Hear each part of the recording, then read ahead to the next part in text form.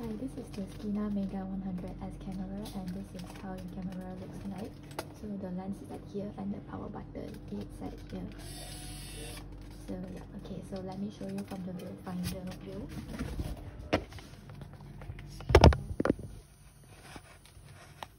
Wait, it's not focus.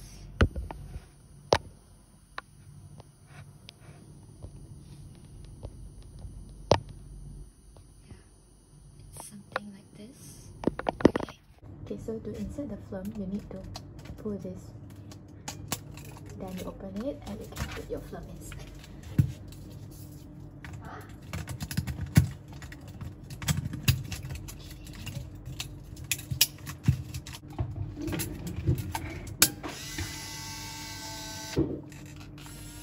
Okay, so after inserting your flash, you can press the power on button and this one is the shutter button.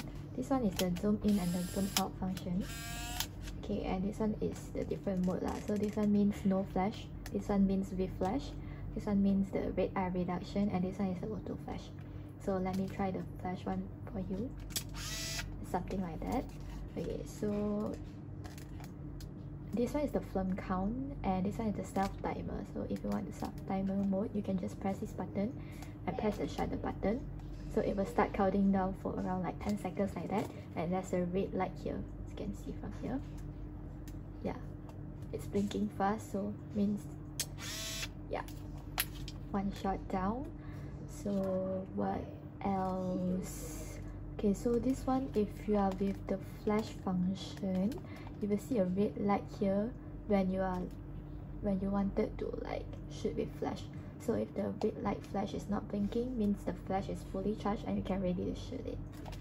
So yep and guess that's it for this camera function. And this camera is auto rewind camera but for now because it's just a demo so if you want to rewind your film you can just take a sharp thing and put this button and it will auto rewind the whole footage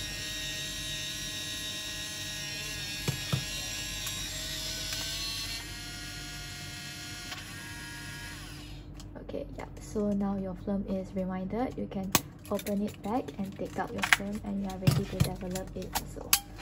So yep and yeah this is where you place your batteries at. Let me show you. Yeah so this is where you place your batteries at. Yeah that's it for this camera. Thank you